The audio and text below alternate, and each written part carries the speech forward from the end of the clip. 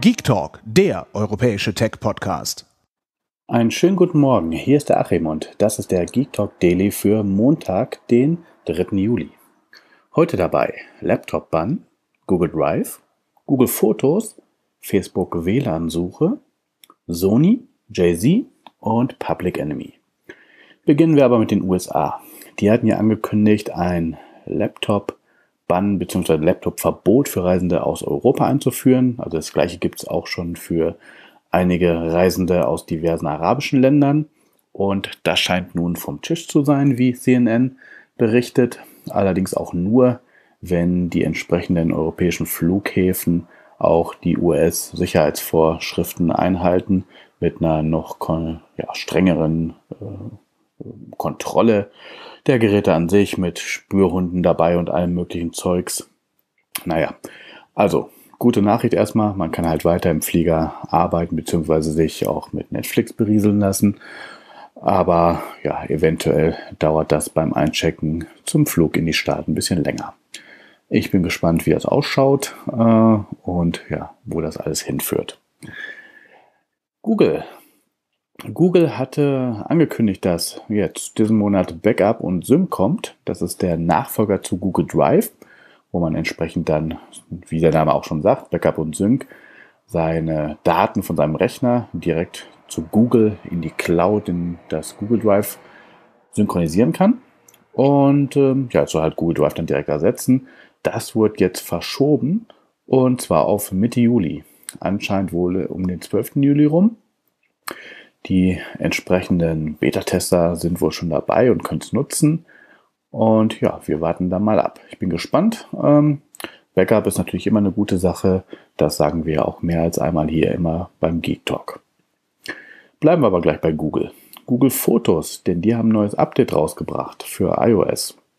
Und mit der Google Fotos App kann man natürlich seine ganzen Fotos direkt bei Google hochladen, hat dort auch unbegrenzt Speicherplatz also eine schöne Sache, gerade wenn es vielleicht mit den Apple-Fotos mit dem Speicherplatz eng wird, kann man zu Google wechseln und äh, da gibt es neue Funktionen. Und zwar kann man nun teilen, teilen, automatisch teilen mit entsprechenden Personen, die auf Fotos erkannt worden sind. Die bekommen eine Benachrichtigung und können sich die Fotos dann auch angucken. Ähnliches funktioniert auch mit freigegebenen Fotogalerien. Dort kann man halt auch Personen einen automatisierten Zugriff geben, damit diese entsprechende Fotos von bestimmten Sachen, Personen oder auch Orten direkt sehen können, wenn diese hochgeladen werden. Interessante Funktionen muss man sich natürlich ein bisschen reinarbeiten, damit nicht hinterher ja, die falsche Person Zugriff auf Fotos bekommt.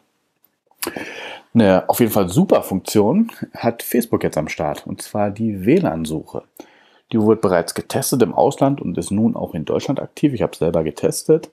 Und zwar findet ihr die in der Facebook-App auf eurem Smartphone, wenn ihr in das Menü geht, wo alles, ähm, ja, wo eure Seiten, wo euer Profil aufgezeigt wird. Im iOS ist das ganz rechts unten die Schaltfläche. Dort gibt es den Bereich Entdecken, da sind Veranstaltungen, gespeichert, bla bla bla. Und in der Mitte unten gibt es nun den Menüpunkt WLAN finden. Und wenn ihr darauf tippt, dann bekommt ihr alle freien WLANs in eurer Gegend angezeigt mit den entsprechenden Lokalitäten, wo dieses WLAN verfügbar ist. Und bestenfalls haben die auch dort die Öffnungszeiten angegeben, dass ihr da eventuell dann schnell hin könnt und euch eure mobilen Daten spart. Sony.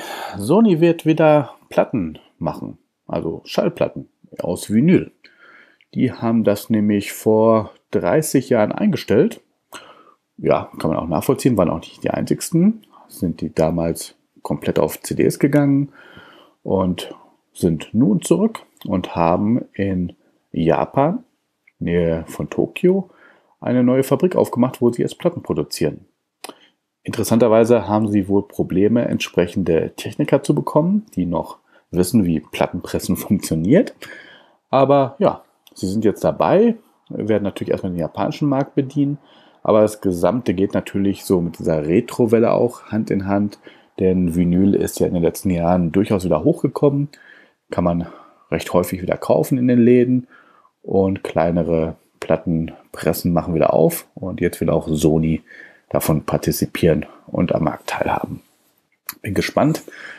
Ähm, ja, und da bleiben wir gleich beim Thema Musik, denn am Freitag ist das neue Jay-Z-Album 444 rausgekommen und das gab es exklusiv bei seinem Streaming-Dienst Tidal. Also, alle anderen haben in die Röhre geguckt oder sich illegal besorgt. Das wäre jetzt nicht das erste Mal bei einem Exklusivalbum von Tidal so. Aber überraschenderweise, zwei Tage später war es, ja, eigentlich ist die Exklusivität noch da, aber zwei Tage später konnte sich nun jeder anhören, indem er sich einfach runterladen kann bei Tidal. Ohne Abo, ohne nichts. Es gibt eine Landingpage, das ist in den Shownotes verlinkt.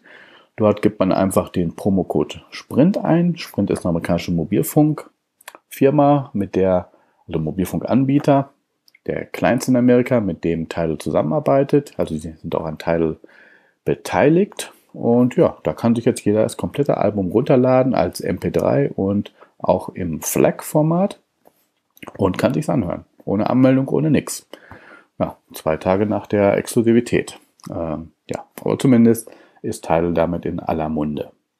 Und wenn schon freie Musik gibt am Wochenende, gibt es noch mehr freie Musik. Denn auch die Rap-Veteranen von Public Enemy, die wollten eigentlich ihr neues Album am Independence Day am 4. Juli rausbringen. Die haben das jetzt einfach spontan auf ihrer Bandcamp-Seite hochgeladen und unter freier Lizenz freigegeben. Also auch da. Jeder kann hingehen, kann sich das neue Album runterladen und es sich anhören. Auch hier gilt wieder, der Link dazu ist in den Shownotes, könnt ihr euch da angucken und wenn ihr Bock habt auf Rap, Public Enemy, äh, dann ladet es euch runter und lasst uns gegebenenfalls auch hier in den Kommentaren wissen, ob euch entweder Jay-Z oder Public Enemy das Album gefallen haben. Könnt ihr natürlich auch auf Twitter machen äh, oder auch direkt an mich oder an den Geek Talk, wie ihr wollt. Und damit sind wir auch schon am Ende vom ersten Geek Talk Daily in dieser Woche. Aber ich habe noch eine Sache. Denn weil wir ja mittlerweile die 150 Folgen überschritten haben, hat der Poughkeepsie noch einen Wettbewerb rausgehauen. Und ähm, ja, da gibt es diverse Gadgets zu gewinnen, die er noch da in seinem Kellerbüro gefunden hat. Und teilnehmen kann jeder aus Deutschland, Österreich, Liechtenstein und der Schweiz.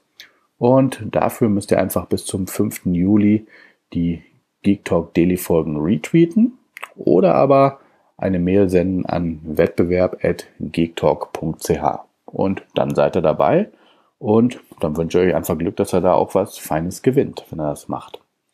Ansonsten sage ich mal, wir hören uns morgen wieder, hoffe ich. Ich wünsche euch einen guten Start in den Tag und in die Woche und sag ciao, ciao. Hört mehr Geek Talk.